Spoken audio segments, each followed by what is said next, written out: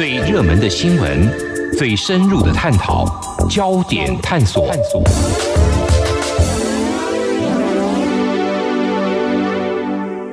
这里是中央广播电台。中国大陆人行自今天起降准两码零点五个百分点，这是人行今年以来首度全面降准，原因何在？预期会达成哪些效果？另外，刚落幕的二十国集团集团体财长和央行行长会议有何焦点？会议结果又带来哪些启示呢？上一题，我们今天节目中访问到淡江大学财务金融系教授李沃强，李教授，我们深入评析。李老师您好，主持人好，各位听众朋友大家好。李老师，中国大陆人行宣布降准两码，这是人行今年以来首度全面降准，您可以先帮我分析下。主要的原因何在呢？这个人行在去年的二月份到现在已经有这个五次的降息跟五次的降准。那事实上，这个降息的降准也在市场的预期之内。我觉得几个因素，第一个就是中国经济的下行，因为中国呢从前年呢加这个百分之七，那已经是二四年来的一个新低，但是在去年的一个经济成长率呢掉到这个六点九 percent 啊。这是二十五年来一个新低，所以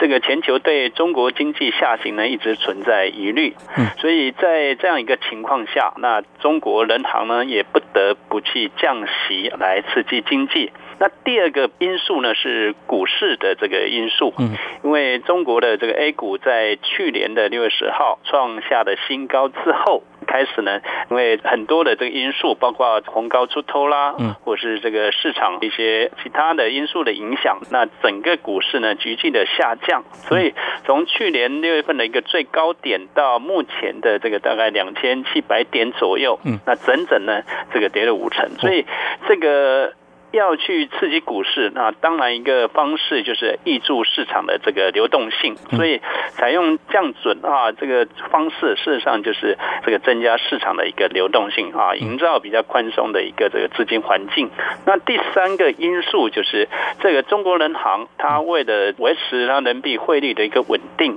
所以呢，这个它不惜呢啊用这个干预的手段，但是干预手段呢必须要付出比较多的这个外汇的这个准备哈。所以第三个因素就是所谓一个外准备的这个减少，跟所谓外汇占款的一个减少哈。那外汇的部分，我们可以看到中国人行的这个外汇储备，从过去最高点的大概是三点九兆美元。那因为呢，才干预的这个手段，所以它必须要这个以外汇准备啊来这个去购买，比如说美元这个资产所以再加上这个资金的外流，那目前呢已经减少到三点三兆左右啊，所以这个是他必须要持续采取这个量化宽松政策的一种这个手段。是老师，这一次人行宣布降准两码，会产生哪些效果呢？对。它这次预估是可以释放出大概七千亿左右的人民币哈。那当然，刚刚也提到了，这个因为目的是要营造一个宽松的货币政策，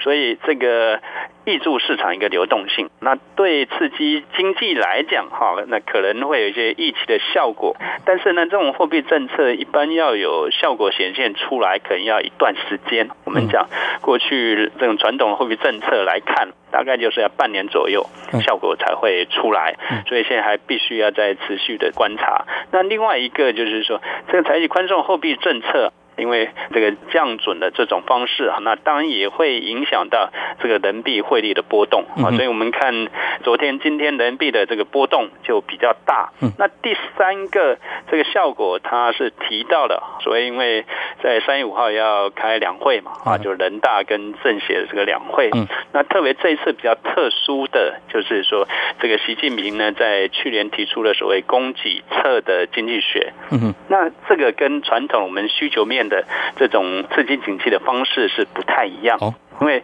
需求面就是说，那透过消费啦，透过投资，透过政府支出啊来刺激经济。但是这个我们也了解呢，大陆在这几年因为这个产能过剩，啊，所以供给侧的经济学呢，它就是要从供给面。去解决这种经济迟缓的这样的问题啊，所以包括了这个产能的消化啦，包括库存过多的消化啦，包括所谓金融杠杆这比例过高啊等这些问题。所以事实上，它降准这个目的呃一个也就是要配合这个供给侧的经济学，来营造整个市场资金比较宽松，有利于习近平他在推动这个供给侧经济学这个措施。是老师，那面对这样状况，包括中国大陆采取您刚刚讲是宽松的货币政策，还有这供给侧经济学哦，那我们台湾要注意哪些部分？我想这个降息降准，这个也就是说，是目前全世界呢，在刺激经济所采取一种这个所谓这种传统的这种货币政策，但是传统货币政策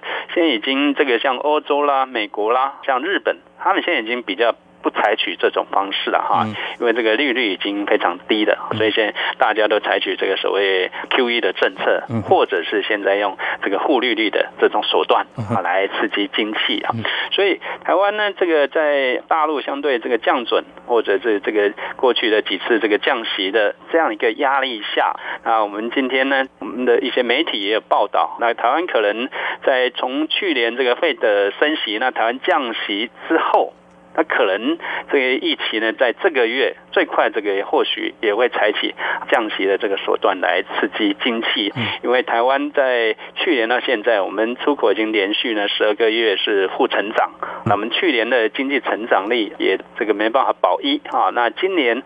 上个月，那一些研究机构也调降了今年的这个景气的这个预测，我们预估像最低的预测到这个一点四五啊左右，所以这个为了刺激经济，我想降息还是一个这个传统的一个刺激经济做法。是老师，另外您稍早您提到这个人民币的汇率部分，我们知道刚刚在上海落幕的这个二十国集团财长和央行行长会议哦，这人民币汇率也是大家关注的一个焦点。你可以帮我分析一下这次集团体会议有哪些的焦点，又带哪些的启示呢？那集团体呢，事实上是全球一个重要的一个论坛，因为它占整个全球的 GDP 啦、人口啦，这整个对全球经济成长的这个贡献度，这个都非常的大。所以它的这个在二十六、二七号在上海举行这个会议闭幕之后，它也发表了一个公报。那公报里面实际上不外乎，也就是说，第一个部分就是全球经济成长还是这个迟缓啊。那这个部分也呼应到这个二零一四年底那个 IMF 的主席拉加德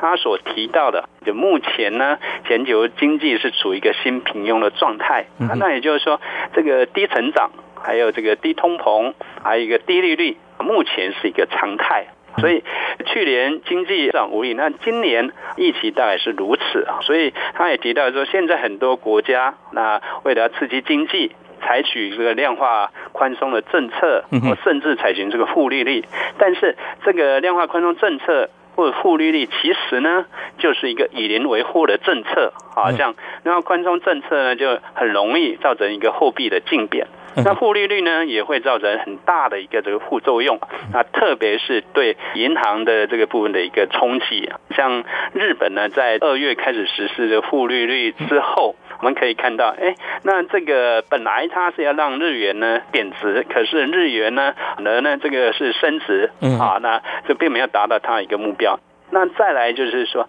这个日本的银行股在两周之内。它也跌掉了在百分之三十，嗯哼，所以这个对银行的一个信贷，对银行的所谓一个利息收入冲击是这个相当大的。那另外一个重要的部分就是说，像他也建议说，哎，各国应该回到正轨。那所谓正轨，就是过去我们所讲到的传统的财政政策啊，传统财政政策跟货币政策。但是财政政策来讲，这个我刚刚也提到了，就是所谓提振消费。跟投资还有扩大政府支出，嗯那这样来做，那事实上它所造成的这种负面的冲击是比较小的。但是我个人认为说，哎，那要去透过这个财政政策来刺激经济，事实上也有很大的困难。是。因为全球现在各国的整个负债的比例持续在上升，啊，所以要达到一个刺激经济的这种效果，恐怕也是非常困难的。那还有一点就是说，特别是针对中国人民币汇率贬值的问题啊，那包括美国在内的很多国家，事实上一直在希望中国能够有比较正面的回应。啊，就不要。让人币呢发生重大贬值这样情况，所以我们也看到这个，包括人行行长周小川，嗯，还有这个李克强总理，包括他们的财政部长，也屡次呢发表声明说，要维持呢人民币汇率的一个稳定啊。但是我想，因为整个人民币的贬值有它很多市场的因素了，那能不能去达到这个稳定而不重贬？那我觉得还是未来还是有一些疑虑哈。但是以目前这样来看，那事实上中国人行来讲，它也是这个进退两难，市场因素那逼得它要贬。可是呢，国际的压力又希望它能够维持汇率的稳定，所以到底未来是胜是贬，那我觉得这个还是有待进一步的观察。嗯，老师，您讲说现在目前这个宽松货币政策呢，将成为新常态。那面对这样的状况，台湾要怎么样来应应跟注意呢？这台湾既然啊，景气也是迟缓了，是因为央行整个政策目标还是要维持这个汇率的稳定啊。所以如果要让台币呢这个进一步的贬值，我想几率也不太高啊。所以目前能能够采取的一个做法，当然就是透过这个降息的这种方式。那另外一个，因为台湾要采取这个整个扩大政府投资的这个方式啊，这个是可以进一步来考虑。因为我过去政府在公共支出这个部分，事实上它的比重是这个比较低，所以这个新政府它未来要去发展这个五大创新产业。所以我想，如果能够扩大这种产业的一个调整创新，嗯，产业结构，那如果能够调整成功的话，那我想会带动整个经济的一个成长的动能。那这个部分也就是蔡英文呢他在选前所提到的一个财后理论。那财后理论就是我们把这五大产业如果放在一起啊，那去点火。那点火呢？这个它就产生比较大的一个能量，那进而成为带动台湾经济成长的一个重要的引擎。但要达到这个引擎呢，要整个火要点起来，事实上还要有一些方面的一个配合啦。所以就是目前台湾的这个五缺：缺水。切电，嗯啊，切土地、切工、切人才，但这个部分如果能够一一去解决，那进而去发展所谓这个五大创新产业，那成为台湾经济成长一个这个重要的引擎。那我想未来台湾的经济成长还是这个有希望的。嗯，调整初级经济发展。好，我们今天节目中呢非常高兴访问到淡江大学财务金融系教授李沃强李教授，针对中国大陆人行自今天起降准两码，还有刚落幕的二十国集团财长和央行行长会议有哪些？焦点和未来我们需要关注哪些部分？为我们做深入的评析。非常谢谢李老师接受访问，谢谢您，谢谢主持人，谢谢各位听众朋友。